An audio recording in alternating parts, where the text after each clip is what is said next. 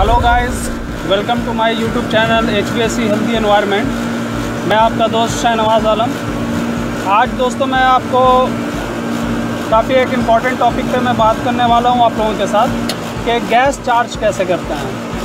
How to refill refrigerant in any unit तो आज हम लोग आर बाईस जो है इधर दिखाओ आर बाईस।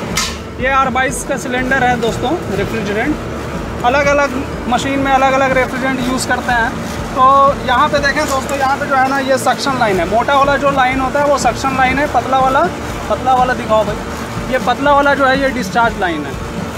तो इस गैस कैसे हम लोग चार्ज करेंगे, इस पर आज बात करेंगे। दोस्तों, आपसे रिक्वेस्ट है कि वीडियो पूरा देखें। और अगर वीडियो आपको पसंद आए तो लाइक और सब्सक्राइब करें। और बेल आइकन को ज़रूर प्रेस कर दें ताकि नेक्स्ट वीडियो जो आपके कमेंट के अकॉर्डिंग मैं बनाऊँ तो आपको नोटिफिकेशन उसका मिल सके। तो दोस्तों, इसका मैंने सक्शन लाइन में ये लाइन मैंने पाइप जो है लगा दिया है। अब गैस रिफ़िल करने के लिए मैं सिलेंडर में ये जो मिडिल वाला जो है, ये सिलेंडर में लगाते हैं दोस्तों। ये हमारे हाथ में प्रेशर गेज है।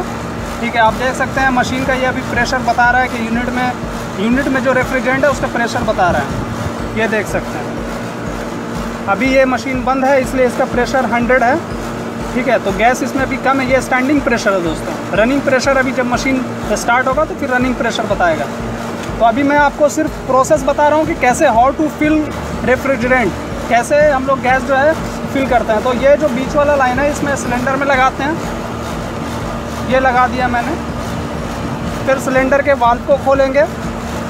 फिर उसके बाद यहाँ से यहाँ से थोड़ा गैस डिस्चार्ज करते हैं। कि सिलेंडर में अगर कोई एयर है या किसी तरह का कोई डस्ट पार्टिकल से, वो यहाँ से डिस्चार्ज हम लोग करते हैं। इस तरह से खोल करके हल्का खोलेंगे, ये साउंड हल्का करेगा, फिर इसको बंद कर देंगे। फिर उसके बाद दोस्तों यहाँ से ये सक्शन वाल्व खोलेंगे। इससे हमारा गैस जो है, वो रिफ़िल होगा।